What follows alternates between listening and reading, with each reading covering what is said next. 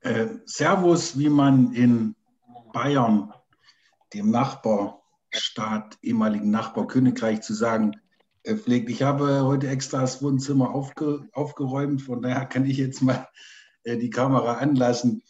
Äh, ist natürlich immer eine komische Situation. Jetzt momentan sehe ich nicht ein Gesicht, sondern nur äh, Foto, Fotos, sprich, äh, das ist halt die, die Realität, in der wir gerade leben. Also unsere Lehre läuft ja auch so ab, aber wie wir schon vor zwei Tagen beredet haben, trotzdem macht es Sinn, ähm, nicht alle Dinge ausfallen zu lassen, weil das Denken muss ja letztendlich weitergehen. Von daher bedanke ich mich für die Einladung. Ich wäre natürlich viel lieber jetzt vor Ort in Wien, zumal das auch mit Getränken unserer Wahl danach verbunden wäre, die mir aber versprochen wurden einzuhalten beim nächsten Besuch, den ich auf jeden Fall plane.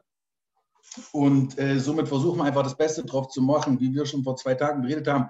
Ich präsentiere hier jetzt keinen ausgefeilten Text. Äh, das Medium ist schwierig genug. Wenn jemand lesen möchte, dann äh, braucht man das nicht äh, bei einer Zoom-Präsentation von einem Bildschirm zu machen. Und somit habe ich letztendlich den Vortrag aufgebaut, sehr visuell und verschiedene äh, Stücke eines Bodies of Knowledge, also eines Wissenskörpers auf Deutsch, wahrscheinlich, keine Ahnung, ob man das so übersetzt, den wir die letzten Jahre ähm, aufgebaut haben und an dem wir weiterhin arbeiten. Und äh, ich biete halt einfach bestimmte Einblicke da rein und verweise dann immer wiederum auf Publikationen, die es dann wiederum erlauben, ähm, euch im Publikum, Ihnen im Publikum ähm, weitere Informationen in die Tiefe halt je nach Gusto aufzusuchen, ohne dass ich jetzt wie ein Teacher äh, meinen eigenen Text vorlese, was auch psychologisch ein bisschen kompliziert ist. Ähm, wie ich in meinem Vortrag, äh, in dem Abstrakt versprochen habe, man muss seine Versprechen halten, ähm, sind es zwei Foki, die ich hier äh, versuche äh, oder, oder, oder, verfolge. Auf der einen Seite ist es der Fokus auf ethnografische Geschichten, Plural, Geschichten erzählt das etymologisch auch interessant, äh, keine bahnbrechende Neuigkeit in der deutschen Sprache, äh, dass Geschichte sich ja sowohl auf historische Begebenheiten und Akteure bezieht, als auch die Form, in der diese äh, berichtet werden. Sprich, man erzählt eine Geschichte und man erzählt sie durch die Geschichte. In der englischen Sprache ist es ein bisschen anders, hat man History und Story, aber Story ist ja trotzdem auch ein Bestandteil des Wortes History. Also eine interessante hermeneutische Beziehung. Und meine Arbeit die letzten Jahre hat sich immer darauf konzentriert, auf der einen Seite zu rehistorisieren, wie ein bestimmter ethnografischer Wissensbestand entsteht. Sprich, Ethnographie ist ja letztendlich immer eine interkulturelle Wissensform, äh, die weder heute die gleiche ist wie, vor 80 Jahren, äh, noch die gleiche ist, wenn man sie durch verschiedene äh, Konzeptionen, sei es Strukturalismus, Poststrukturalismus, was auch immer, interpretieren. Sprich, auf der einen Seite, und das machen wir auch in der Forschungsgruppe so, sind wir daran interessiert, wie, wie Knowledge Claims, Ethnographic Knowledge Claims, also epistemologische äh, äh, ähm, Wissenswerte äh, entstehen, sei es nun Ende des 17., Jahrhunderts, 18., Jahrhunderts, 19. Jahrhunderts und so weiter. Und auf der anderen Seite nachdem halt Ethnographie an sich oder ethnografisches Wesen rehistorisiert wurde, ist dann der, die, die andere Seite unserer Forschung ist, äh, dass die Bewegung zu indigenen ähm, Bezugsrahmen, die letztendlich nicht weder als kunsthistorisch zu bezeichnen sind, noch als ethnografisch. Das sind ja nun mal Wissensformen, die in anderen Orten wie Wien, oder München, Paris oder London erfunden worden, sondern es gibt andere intellektuelle Rahmen, durch die man die gleichen Dinge, Materialitäten zum Beispiel, verstehen kann. Sprich, mich interessieren oder uns interessieren äh, indigene Epistemologien, Ontologien, Kosmologien. Und ich habe den Vorschlag so aufgebaut, dass ich praktisch zwischen diesen beiden Dingen äh, äh Dimensionen hin und her switche. Rehistorisieren ethnografischer Wissensbildung und die Bewegung hin zu indigenen Bezugsrahmen. Und ich versuche jetzt mal, ich komme aus der ehemaligen DDR, meine technologischen Fähigkeiten konvergieren gegen Null, aber ich bin immer courageous und werde es auch hier wieder probieren. Und ähm, versuche jetzt meine PowerPoint, Ton freigeben. Here we go, ich habe sie geschlossen. Volle Katastrophe.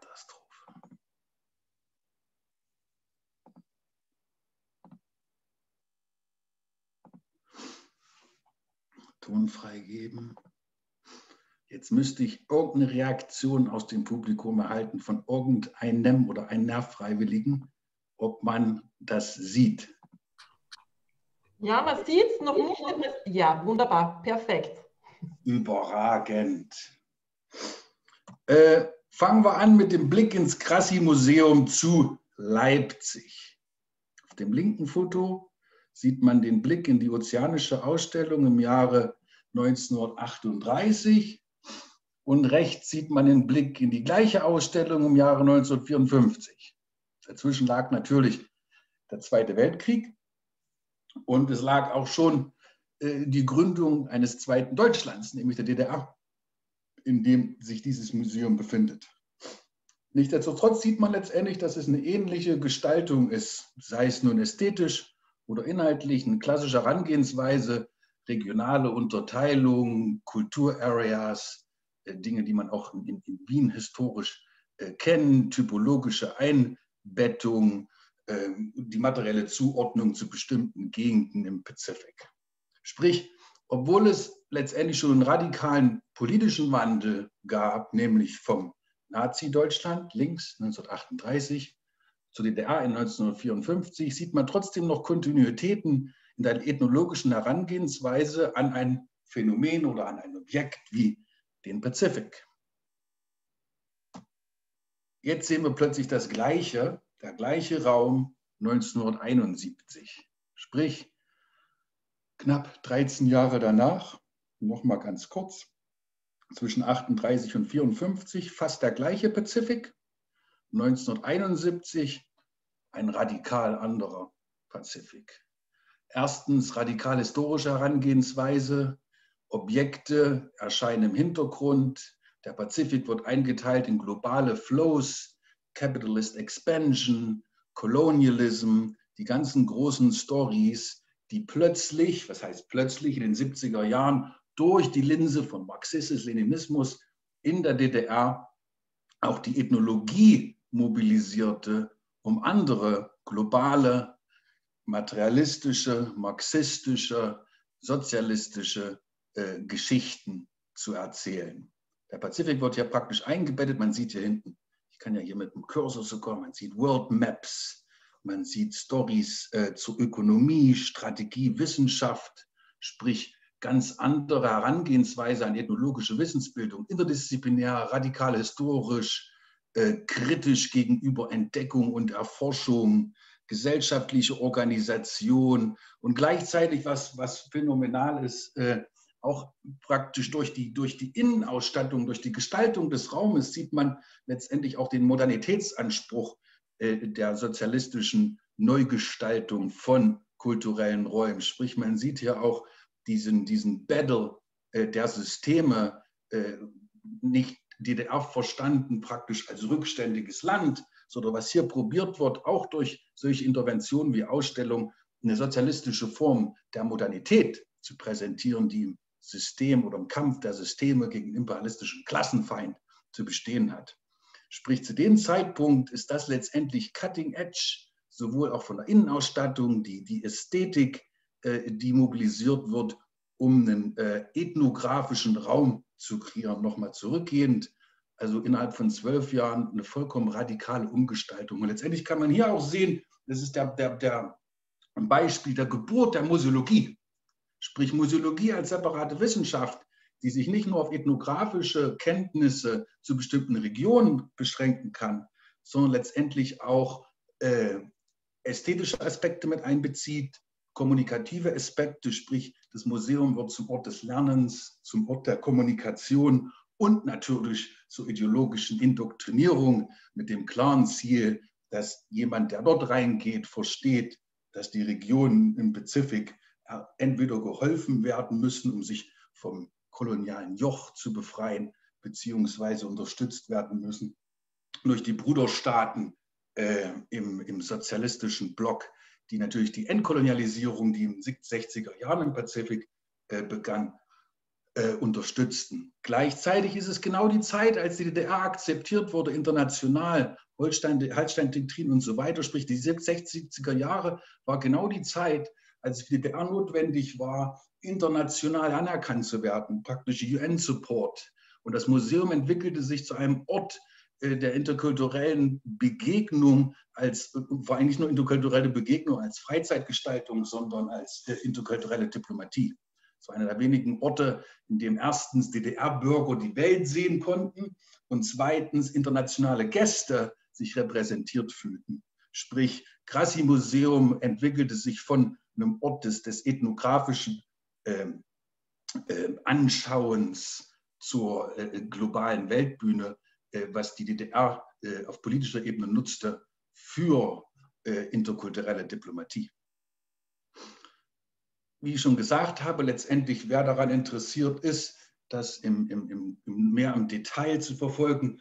Ich habe dazu geforscht, zu, auch zu die, diese Notion des, der, der zwei Deutschlands, praktisch wie äh, ein Phänomen wie der Pazifik äh, neu konstruiert wird, wenn sich das jeweilige ideologische politische System ändert, was natürlich auch Einfluss, Auswirkungen auf äh, wissenschaftliche Orientierung hat. Sprich, innerhalb von ein paar Jahren durch eine neue ideologische Linse wurde in Leipzig nothing less als ein neuer Pazifik kreiert. Und äh, das ist hier eine Veröffentlichung zu einem großen, auch ERC-funded Project, was damals aus Cambridge organisiert wurde, Pacific Presences. Und da ist ein äh, Kapitel dazu, äh, sprich, wer sich damit intensiver auseinandersetzen möchte. Das Buch ist, ist erhältlich und ähm, zeigt praktisch diese Story, die ich jetzt gerade nur aufgerissen habe, auf, sprich die, die, die, die, die ethnografische Geschichte oder ethnografische Geschichten während der DDR-Zeit zum Pazifik. Ähm, außerdem haben wir diesbezüglich noch ein weiteres Buch, was jetzt im April rauskommt, also in drei Monaten, äh, in dem wir erstens die kuratorische Linse nutzen, auch um, um, um die Gestaltung von von, von äh, öffentlichen Räumen durch eine sozialistische Linse zu verstehen. Aber auch da drin sind äh, Kapitel, zum Beispiel von der Stefanie Bach, die aufzeigt, wie Afrika als Kontinent im Grassi rekuratiert wurde, sprich von einem Ort ähnlich wie hier, den man von außen betrachtet, exotisierende typologische Einteilung zu einem Ort, äh, in dem Länder oder zu einem, zu, zu einem Raum, in dem Länder existieren, die äh, in den 70er Jahren, äh, speziell in den 70er Jahren, halt Brüderstaaten waren, die auf ihrem revolutionären Pfad unterstützt werden mussten. Und in dem Moment wird Ethnographie oder auch Kunstgeschichte ein Instrument äh, äh, der politischen äh, Affiliations und revolutionärer Aktivitäten. Sprich, eine ähnliche Story kann man nachvollziehen im Grassi in Bezug auf den afrikanischen Kontinent. Und needless to say, gerade die DDR, die ja, ja letztendlich nicht mit der BRD vereinigt wurde, sondern annektiert wurde, diese Geschichten sind natürlich kaum bisher in, in, in weitere Wissensbildung eingegangen, sprich kaum jemand bezieht sich in, in kontemporärer wissenschaftlichen Tätigkeit auf DDR-Autoren, was natürlich gerade in Bezug auf äh, äh, postkoloniale oder antikoloniale Tendenzen keinen Sinn macht. Gerade die momentane Debatte lässt ja oft vermuten, als ob wir gerade im Jahre 2021 das erste Mal uns mit postkolonialer Kritik äh, äh auseinandersetzen, was man hier schon sieht im Jahre 1971, sprich vor 50 Jahren, ist nicht nur postkoloniale Kritik, sondern antikoloniale Einstellung, antikoloniale Orchestrierung von äh, kuratorischen Interventionen mit dem klaren Ziel, äh, die, die eigene Bevölkerung in die Richtung zu, äh, zu erziehen oder äh, zu kommunizieren und gleichzeitig global hinsichtlich des Pazifiks und dem afrikanischen Kontinent das Museum für Allianzbildung und so weiter zu nutzen. Sprich, es ist vollkommen wichtig, dass wir diese rehistorisierende Perspektive einnehmen, um nicht diese, dieser epochalen Hubris zu verfallen, als ob wir gerade jetzt seit fünf Jahren uns irgendwie das erste Mal mit postkolonialer Kritik auseinandersetzen. Und dafür müssen wir uns natürlich auch oft erstmal überhaupt mit der innerdeutschen äh, Geschichte oder den Geschichten auseinandersetzen, sprich, was in der DDR in gewissen Institutionen äh, passiert ist, ist essentiell zu verstehen, inwiefern äh, sich die Beziehung zu anderen Regionen entwickelten und natürlich unsere eigenen Einstellungen zu anderen Regionen. Sprich, das war die erste Perspektive, die ich aufreißen wollte, das Rehistorisieren von ethnografischen Wissensbeständen. Die zweite Perspektive, die ich in diesem Vortrag aufreiße, ist die Mobilisierung dieser Wissensbildung hin zu indigenen äh, Referenzen oder Rahmen ontologischer, epistemologischer und kosmologischer Hinsicht. Sprich, was ist die Perspektive der äh, Hersteller von diesen Dingen, die wir hier sehen, fern ethnografischer oder kunsthistorischer Ansätze, die wir aus München oder Wien kommend verfolgen können. Und da ist es am besten, wenn ich mal einen kurzen Film zeige, der sich auf die historische Restituierung von Ivi Kupuna, also Human Remains, menschliche Überreste im Jahre 2017 von Sachsen, Leipzig bzw. Dresden nach Hawaii. Jetzt muss ich bloß noch. Kann man das hören?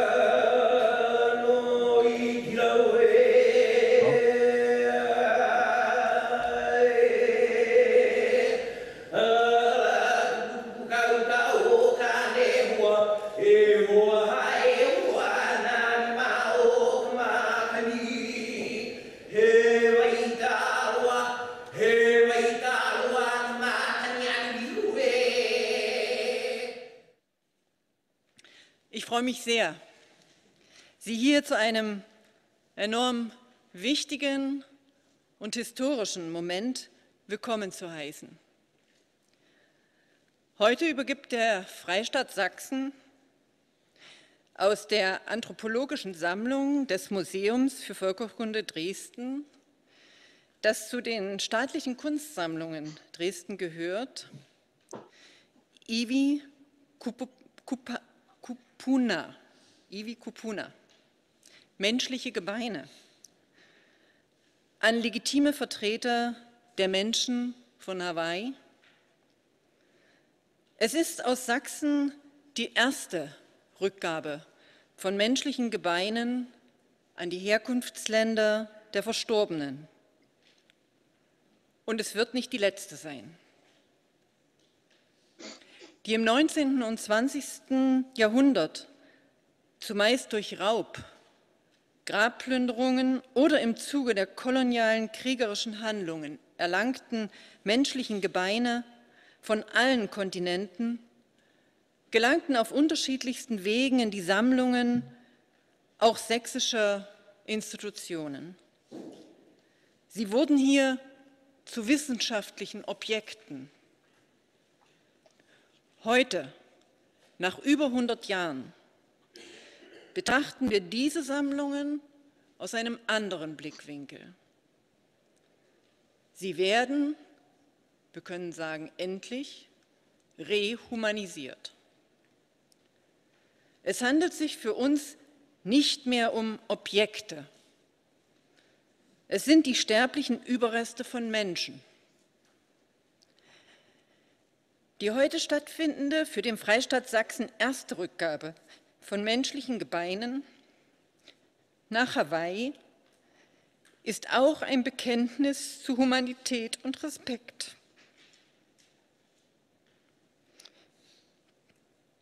Gegenüber den Menschen, aber auch gegenüber den Kulturen.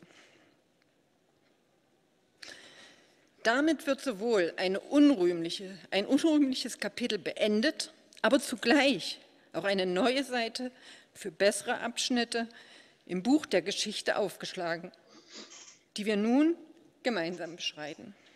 Dieser Akt öffnet die Türen für weitere vertrauensvolle und vor allen Dingen gleichberechtigte Kooperationen, für gemeinsame Forschungsvorhaben und die kulturelle Zusammenarbeit.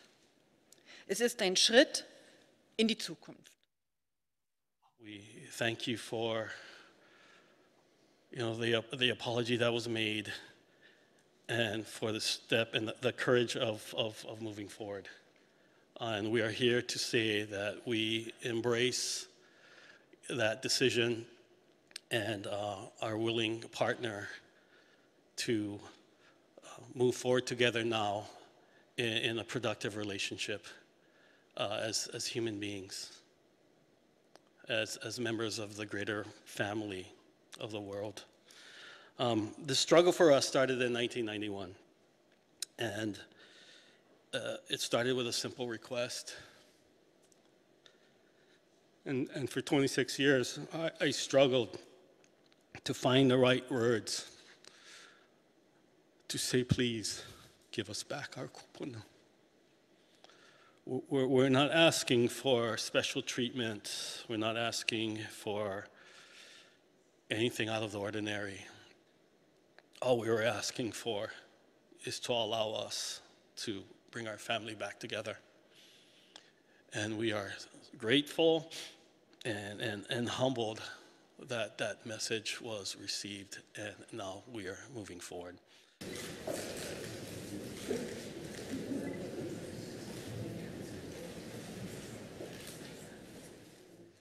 There is a sea change, and it took decades, and yet it took only moments for the right people to hear the right message. There is a sea change, and we need not be fearful. This is a relationship that has been born for over a century. And you can too celebrate with us so that they can travel back across the waves that once took them from home. There is a sea change. Revel in the waves that bring us together in the here and now.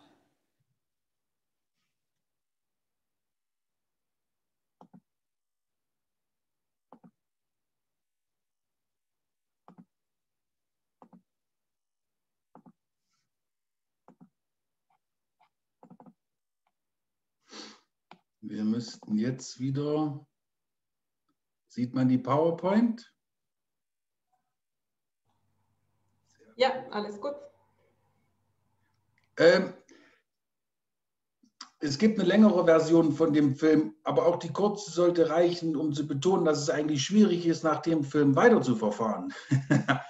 ähm, ich, ich, ich kann das oder könnte das täglich gucken und, und es würde mich immer wieder so berühren. Man könnte auch jetzt einen ganzen Vortrag über, über diese Situation gestalten, was jetzt nicht mein Ziel ist. Da gibt es auch welche im, im Publikum wie Gesa Grimme, die äh, ihren, ihre Doktorarbeit bei uns macht und sich ethnografisch mit, äh, mit Prozessen der Provenienzforschung oder auch Restitution auseinandersetzt. Sprich, sie setzt sich damit auseinander, studierend, also praktizierend und studierend, was in diesem Raum eigentlich passiert.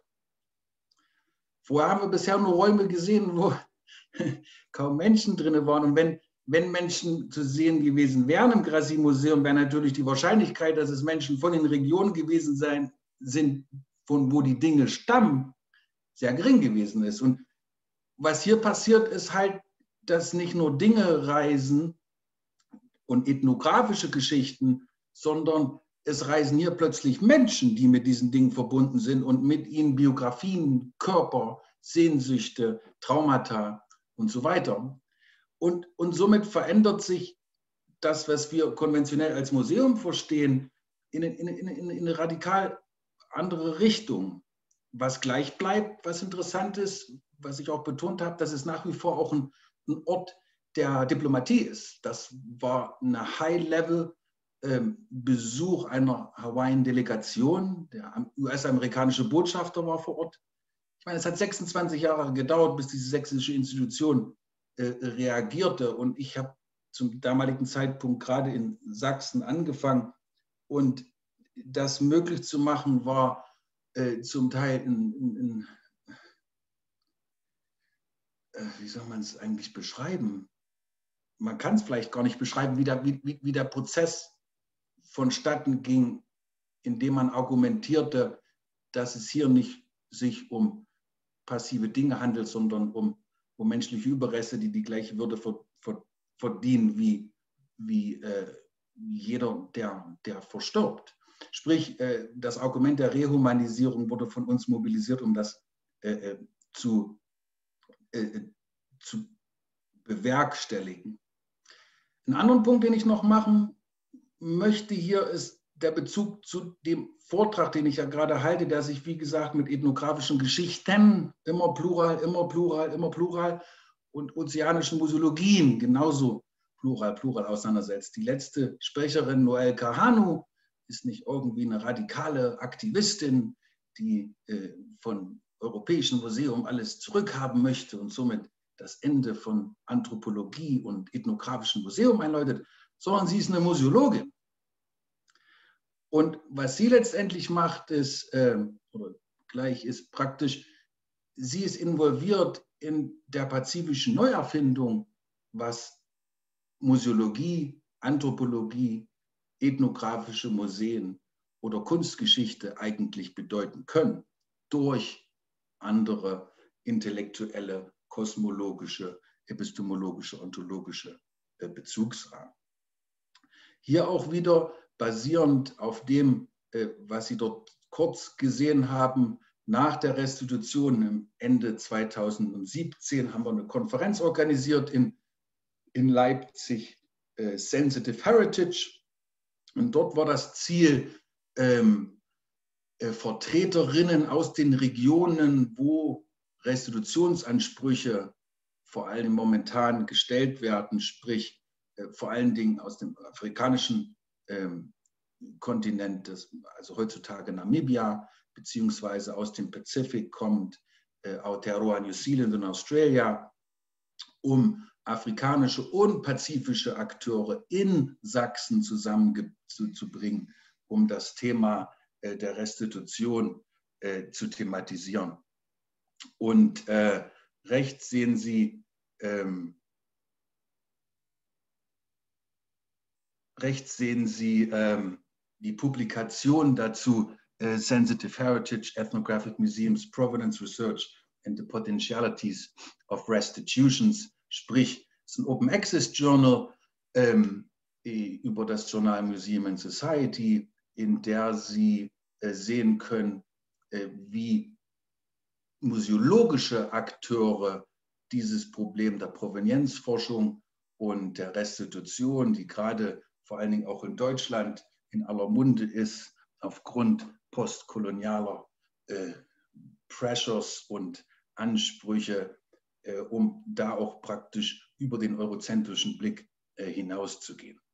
Und speziell mit Noel äh, Kahanu, äh, die wir vorher gesehen haben, äh, ist es wichtig, wir haben ja praktisch eben die Restitution von Hawaiian Human Remains, also praktisch menschlichen Überresten nach Hawaii gesehen, aber das gleiche Konzept der Restitution äh, findet nicht nur aus europäischen Institutionen aufgrund von postkolonialen Ansprüchen statt, sondern was wir hier sehen, ist eine Restitution zwischen zwei pazifischen Institutionen durch indigene Museologien, sprich, hier sehen wir äh, einen berühmten äh, Feather Cloak also Feder, ähm, Umhang und Helm, der von äh, King Kalanipu, also praktisch einem Hawaiian Leader, äh, an Captain Cook übergeben wurde. Captain Cook hat es dann aus Hawaii nicht mehr zurückgemacht bis nach Großbritannien.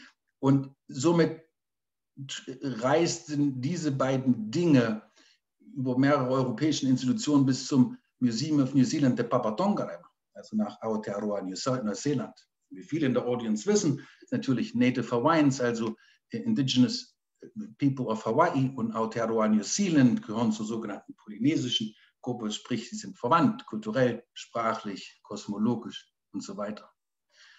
Und was wir hier sehen, ist ein absolut historischer Event, in dem ein, ein Treasure, also ein, ein materieller Schatz, äh, der mehrere Jahrhunderte sich nicht in Hawaii befunden, befunden hat, sondern in Neuseeland zurückgegeben wurde. In dem Kontext nicht als postkoloniale Entschuldigung äh, wie wir eben gesehen haben, Kulturminister Stange in Tränen in Sachsen aufgrund der ethischen Implikation äh, dieser Geschichte, sondern hier geht es um das Rebonding, um, das, um, um, um, um polynesische Beziehung, die es seit, literally seit Jahrtausenden gibt, in dem Kontext durch die moderne Institution des Museums und durch kuratorische Praxis. Sprich, wir sehen hier Fotos, in dem äh, äh, kulturelle Praktiken, die in ähnlicher Form vor Jahrhunderten praktiziert wurden, in einem anderen Kontext, in einem museologischen Kontext enacted werden. Und ich glaube, es ist, braucht man jetzt nicht weiter noch in die Tiefe zu gehen, äh, um schon hier zu sehen, dass hier mehr, weit, weit mehr geschieht als eine klassische ethnografische Herangehensweise an Dinge aus dem Pazifik oder eine äh, kunsthistorische Herangehensweise sondern hier geht es um die Verhandlung von bestimmten ontologischen Verständnissen, in dem zum Beispiel ein Federumhang wie von Kalainiupu'u überhaupt nicht als Objekt zu verstehen ist, sondern subjektähnliche Charakteristiken hat. Und mein Argument über die letzten Jahre in der Arbeit ist, sprich, wenn, wenn europäische Theorien reisen können, Foucault, Habermas und so weiter, um bestimmte Situationen wirklich weltweit zu erklären, dann ist es eigentlich mal Zeit, dass auch indigene Philosophien, ja, Indigene haben auch Philosophien, äh, in die andere Richtung reisen können, um uns aufzuzeigen, inwiefern wir äh, durch eine Institution wie ein Museum und durch bestimmte Wissenspraktiken wie äh, kuratorische Praktiken äh, die Bedingungen zwischen Mensch und Ding, zwischen Mensch und Umwelt äh, durchaus neu äh, durchdenken sollten. Sprich, was wir hier sehen, ist, dass auch die, die, die Restitution an sich sowohl im europäischen ethnografischen Kontext stattfindet, als auch im indigenen pazifischen Kontext, in dem die Institution des Museums Bestandteil indigener Beziehung, Bestandteil indigener äh, äh, Wissensbildung und Regenerierung ist. Wer dazu auch noch mehr wissen möchte, ein, ein Buch, was wir veröffentlicht haben im Jahre 2019 mit, äh, in dem auch Noel Kahanu, die letzte Sprecherin, äh, in dem Video in Dresden, die auch an diesem Prozess der Restitution von Aotearoa, Neuseeland, Hawaii eine essentielle Rolle gespielt hat. Und wie gesagt, auch als Museologin agiert, äh, sprich an den Prozessen, die zur weiteren Indigenisierung von einem Phänomen wie Curatorship und wie ethnografischer Museologie beteiligt ist. Und weshalb ich eigentlich zu dem Talk eingeladen wurde heute, ist auch mit Noel haben wir ein neues äh, Buch rausgebracht, in dem wir praktisch argumentieren, dass äh, es nicht wirklich produktiv ist, das ethnografische Museum abzuschaffen, solche Stimmen gibt es ja auch, sondern dass es produktiv ist, andere konzeptionelle, kosmologische, epistemologische, ontologische Linsen zu benutzen, um einfach neu zu gucken. Damit wir gar nicht wieder in die Falle reintreten und denken, dass dieser Cloak, also dieser Umhang, als passives Objekt zu verstehen ist. Weil wenn man sieht, was, welche menschliche Aktivität durch die Präsenz und die Reise dieses Umhangs generiert wird, dann ist es ja kein, kein, kein Stretch of the Imagination, diesem Umhang eine gewisse Handlungsmacht zuzusprechen. Sprich, wenn der Umhang nicht wäre, würde das ganze Treffen hier gerade nicht stattfinden. Und gerade der Pazifik hat dort über die letzten Jahre enorme Revolutionierung von museologischen, anthropologischen Praktiken äh, äh, hervorgebracht, die in unserer Arbeit eine enorme Rolle spielten. Und hier möchte ich auch nur einige Beispiele aufzeigen von der zweiten Stoßrichtung meines Vortrages, sprich diese Mobilisierung hinsichtlich zu oder äh, in die Richtung äh, indigener Wissensformen. Und in diesem Projekt, das Buch ist praktisch auch, kam äh, letztes Jahr raus, äh, ging es darum, museologische Prax Praktiken im sogenannten polynesischen Dreieck zu verstehen. In Hawaii sehen wir hier Rapa Nui, Easter Island, Osterinsel und Aotearoa, New Zealand, sprich, was, was als polynesisches Dreieck oft be äh, beschrieben wird, sprich ein, ein, ein Raum, der einfach auf eine, eine, eine lange Geschichte äh, indigener Beziehungen hat. Natürlich weiter zurückgehend als überhaupt die Idee der Indigenität, weil Indigenität als Wort natürlich auch wiederum eine moderne Erfindung ist, ähm, die vor allen Dingen dann in den 60er Jahren äh, äh, äh, politisch ähm, Zugkraft gefunden hat. Und hier sehen Sie auch gleichzeitig, weil ja vorhin betont wurde, dass ich momentan ein ERC-Projekt zu Indigeneities in the 21st Century habe. Ähm, diese Kreise, die sich über dieses Dreieck gestalten, das sind wiederum die Regionen, in denen wir uns momentan in unserem Forschungsprojekt zu Indigenität im 21. Jahrhundert auseinandersetzen, wo wir uns praktisch mit den transspezifischen Beziehungen zwischen dem South Pacific und den beiden Amerikas, Plural, was man in Nordamerika kaum hört, das ist The America, was natürlich voller Crap ist, äh, sprich, das ist auch basierend auf den, auf den letzten Aktivitäten nun der größere Raum, mit dem wir uns auseinandersetzen. Und im Rahmen dieses Projektes haben wir praktisch in Hawaii, Rapa Nui und Aotearoa, New Zealand mit, mit verschiedenen Dingen experimentiert, äh, durchgeführt und gleichzeitig geforscht, um zu untersuchen, inwiefern die, die Idee des ethnografischen Museums dort andere Qualitäten gewinnt, die durchaus auch für uns auf dieser Seite dieser postkolonialen Gleichung äh, äh, signifikant sind. Und was wir hier sehen im ersten Case ist Rapa Nui, die Osterinsel. Äh, hier haben wir praktisch die klassische Repräsentation nach wie vor, muss man sagen. Der Osterinsel auf der linken Seite, die Moai natürlich, die dominierenden äh, materiellen Überbleibsel einer vergangenen Zivilisation. Kein Mensch ist auf diesem Fotograf, auf diesem Foto zu sehen. Und auf der rechten Seite, wenn man Menschen sieht, praktisch, das ist, sagen wir jetzt mal, die klassische äh, europäische Repräsentation dieser Insel. Nicht, dass die momentan überall noch so stattfindet, aber sie findet äh, durchaus statt. Sieht man halt diesen, den heroischen Entdecker, natürlich europäischer Herkunft, in dem äh, im Moment Alfred Metron. Hier geht es praktisch um eine berühmte Expedition, äh, ethnologische äh, Expedition äh, nach Osterinsel und um Fotografien und, und andere Dinge, die während dieser Expedition ähm, gesammelt wurden und hier repräsentiert werden. Die gleichen Fotografien, die in diesen beiden, Foto, äh, in diesen beiden Büchern bzw. der museologischen Repräsentation zu finden sind, haben ganz andere Auswirkungen auf, also in Rapa Nui, auf der Osterinsel an sich. Und hier sehen wir Fotografien wo ich involviert war mit äh, Mara Mulrooney, äh, einer, einer, Museologin, Archäologin am, am, Bishop Museum in Hawaii und Christian Moreno Baccarati, äh, ein, ein, Local Historian, Rapa Nui Historian, der auch ein Co-Autor des Buches ist, was ich gerade aufgezeigt habe.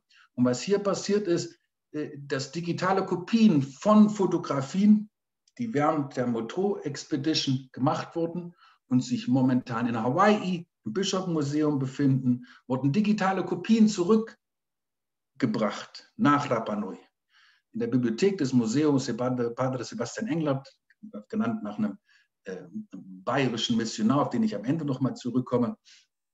Und äh, der Punkt ist hier auch, wer das in die Tiefe gehen möchte, dazu gibt es dann das Buch. Erstens werden diese Fotos genau in diesem Szenario, was wir hier sehen, mehr oder anders als ethnografische Bilder. Sie sind Abbildung von äh, äh Beziehung zu Vorfahren, äh, Beziehung zu Lokalitäten, äh, Biografien, äh, Geschichten und so weiter. Also erstens werden hier Fotografien aus dem ethnografischen Kontext heraus mobilisiert, durch den sie produziert wurden und oftmals natürlich mit, mit, mit Kategorien wie Typologien und so weiter, die keinen Rahmen für oder keinen Raum für individuelle Namen hatten. Und gleichzeitig ist natürlich in theoretischer Hinsicht äh, alleine so eine mundäne Aktivität hochinteressant, um, um neu zu durchdenken, was eigentlich ein Fotograf ist. Weil wenn ein Foto äh, Leute mobilisieren kann und, und, und Biografien und, und Reclaiming Processes, in dem individuelle Namen neu vergeben werden, die im, im Laufe des ethnografischen Prozesses solchen Kategorien wie der Osterinsulaner äh, untergliedert wurden, dann findet hier halt mehr statt als eine klassische äh, äh Repräsentation, äh, durch die man Fotografien häufig sieht. Sprich, so die gleichen Fotografien so repräsentiert hier in, in Belgien bzw. Frankreich. Und das ist, wenn die gleichen Fotografien reconnected werden mit Nachfahren der abgebildeten Personen. Sprich, in, in, in mundäner Raum wird viel mehr als ein klassisch, klassisches ethnografisches Verständnis eines museologischen Raumes letztendlich äh, äh anzudeuten scheint. Zweite Beispiel habe ich ja gezeigt, gesagt, äh, Aotearoa Neuseeland war die zweite Fallstudie. Und was wir hier gemacht haben, ist, dass ich zusammen mit äh, zwei indigenen Kustoden am Museum of New Zealand de Papa Tongareva äh, gemeinsam die samoanisch-deutsche Geschichte bearbeitet haben. Viele oder vielleicht alle in der Audience wissen, war ja Samoa lange eine deutsche äh, Kolonie. Und was was passiert jetzt, wenn man nicht interessiert ist in Samoa, sondern in German Samoa, sprich Deutsch Samoa, sprich eine historische Epoche dieser Inselgruppe. Und was passiert, wenn dann, weil momentan in der Museumslandschaft wird ja viel verlangt, mit Kuratoren der Herkunftsgesellschaften zu kollaborieren. Was passiert jetzt, wenn der Informant aus der Herkunftsgesellschaft aus Ostdeutschland kommt? Sprich, was passiert, wenn äh, ein Anthropologe wie ich aus der DDR stammt, indigenen Kuratoren hilft, um gemeinsam die samoanische äh, deutsche Geschichte aufzuarbeiten. Und im Rahmen dessen haben wir halt kontemporäre Dinge gesammelt, sprich, wir haben danach gesucht, welche Spuren überhaupt ähm, zu erkunden sind, die darauf hindeuten, dass es diese Vergangenheit gibt. Bis ich meine, jetzt ist viel passiert durch die gesamte Humboldt-Forum-Geschichte und überhaupt postkoloniale Debatten. Aber erstens ist es in, in, der, in der Breite auf jeden Fall ein recht neues Phänomen, obwohl wir natürlich gesehen haben, vorhin im Jahre 1971 gab es schon äh, antikoloniale Ausstellungen in Leipzig. Nichtsdestotrotz, zum Beispiel in der Mainstream School Education, ich fange immer meine, meine Vorlesung in München an und frage, was die Studierenden aus Bayern wissen über die deutsche Kolonialvergangenheit und über die DDR. Und dann ist erstmal ein paar Minuten absolute Ruhe. Ich muss mich kurz connecten.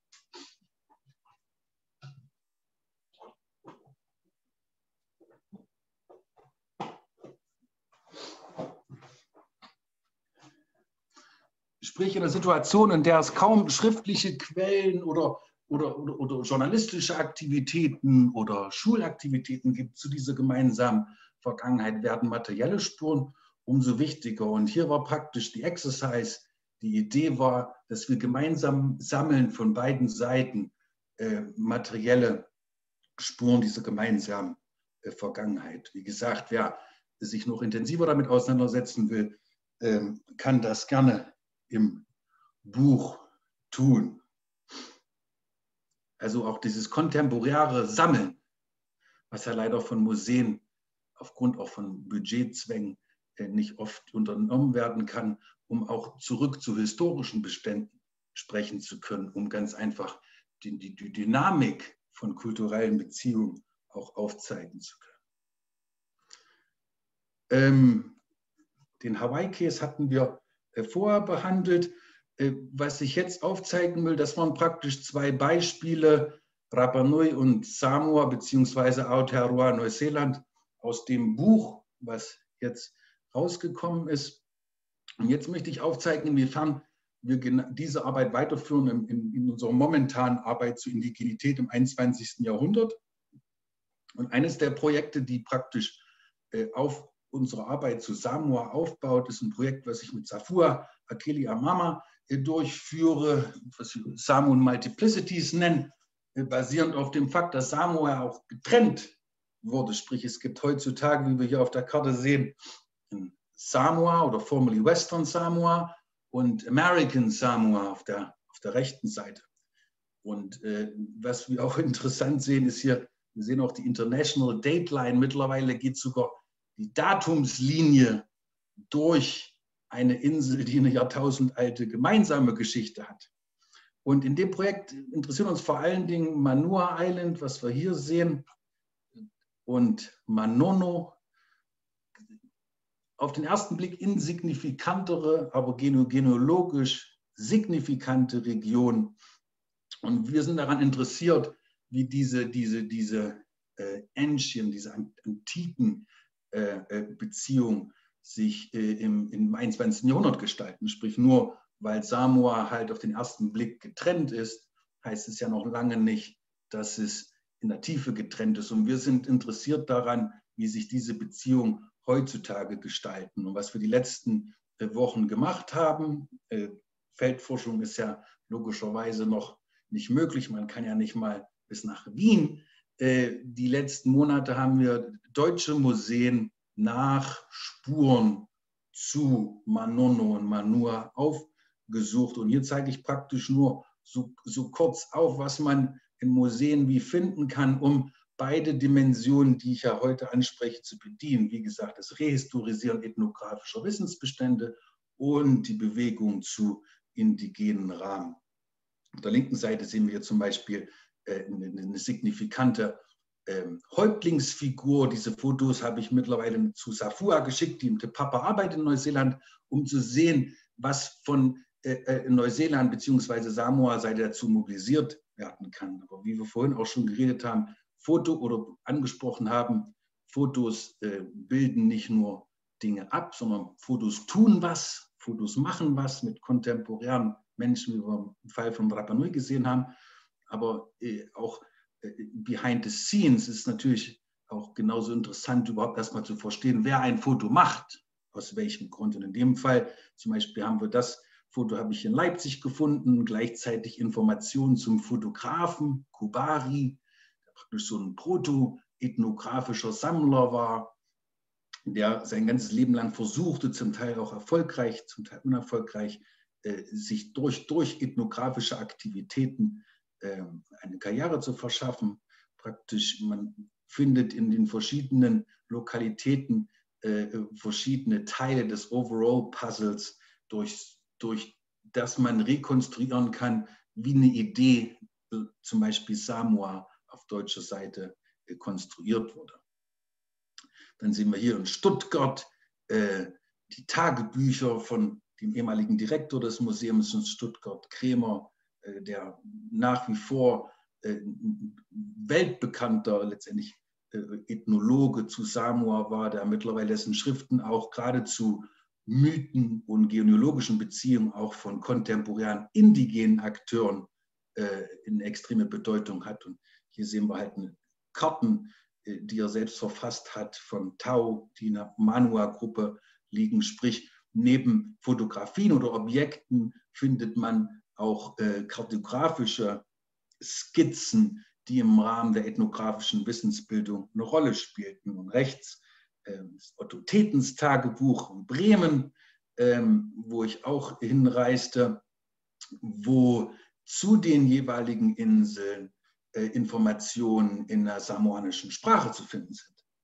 Und das sind, mit, das sind zum Teil Dokumente, die eine enorme Bedeutung haben für indigene Interessen im 21. Jahrhundert, für die Rekonstruierung von Geschichten, für die Revitalisierung von kulturellen Praktiken, sprich Dokumente, äh, visueller, linguistischer, kartografischer Art, die in deutschen Museen oder anderen europäischen oder nordamerikanischen Sammlungen zu finden sind, werden zu einer, zu einer, zu einer vitalen äh, Ressource für indigene Zwecke, wie wir vorhin im, im, im Fall von Dresden gesehen haben, die Restitution nach Hawaii oder wie wir auch gesehen haben in der Restitution zwischen Aotearoa, New Zealand und Bishop. Sprich, Dinge, die lange als ethnografisch galten und zum Teil auch Schäden angeführt haben, äh, geführt haben, wenn wir die Kategorien wie Rasse oder wie Ethnie und so weiter berücksichtigen, die ja letztendlich auf solche Wissensformen zurückzuführen sind.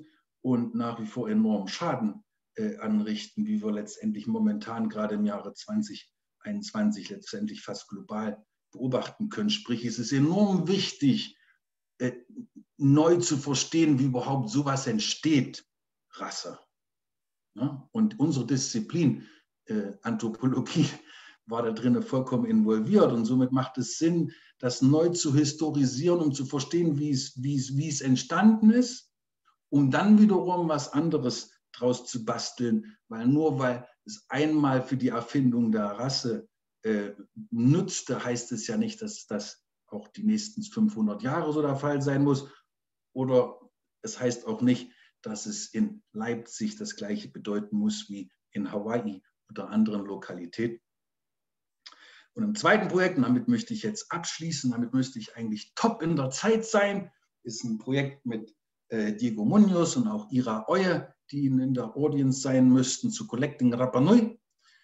Äh, da sind wir, also Diego hat äh, letztendlich schon seit 15 Jahren äh, forscht er zur Osterinsel, ist im, in unserem Research-Team und wir sind gerade am Basteln äh, einer Initiative zu Collecting Rapa Nui, also das Sammeln und wir sind daran interessiert, wie, wie, wie Sammeln letztendlich äh, wissensgenerierend ist.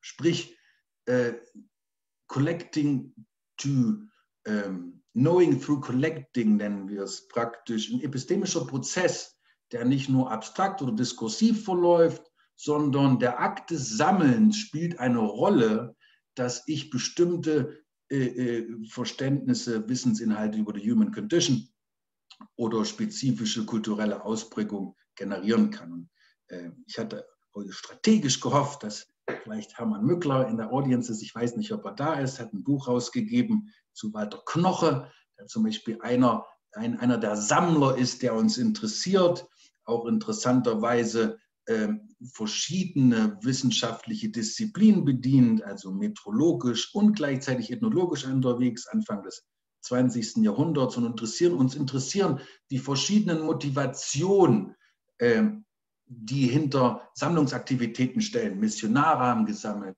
äh, Diplomaten haben gesammelt, äh, Trader und, und, und, und, und also Händler und äh, Anthropologen, Archäologen. Sprich, diese vier Dimensionen interessieren uns, weil die alle miteinander verbunden sind in einem Prozess, der dazu führte, wie wir in Wien oder München ein Phänomen wie Osterinsel und die Geschichte dessen äh, verstehen. Und hier sehen wir rechts äh, auch ein Foto aus dem Buch, äh, in dem äh, Buch, also praktisch das ist aus dem Buch Die Osterinsel von Walter Knoche, was Hermann äh, Mückler neu rausgebracht hat mit einer Bio. Ab, ab Montag stürze ich mich in dieses Buch im Detail. Und wir sehen hier rechts äh, auch eine, also praktisch Bestandteile der ähm, Knochesammlung, die wir jetzt auf der einen Seite, wie am Anfang betont, rehistorisieren wollen, um zu verstehen, wie Wissensbildung eine materielle Dimension hat. Sprich, I need to collect in order to know.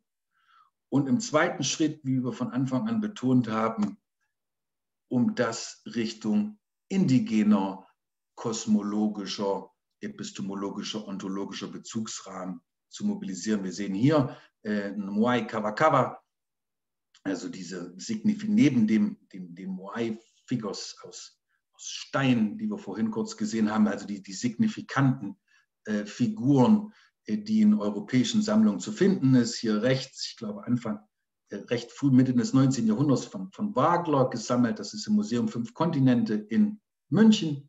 Und rechts sehen wir praktisch ein Masterpiece aus dem Jahre ähm, 2012 von einem äh, zeitgenössischen Künstler Thomas Duque Tepano in Rapa Nui, mit dem Diego ähm, zusammenarbeitet und ich auch schon äh, Kontakt hatte.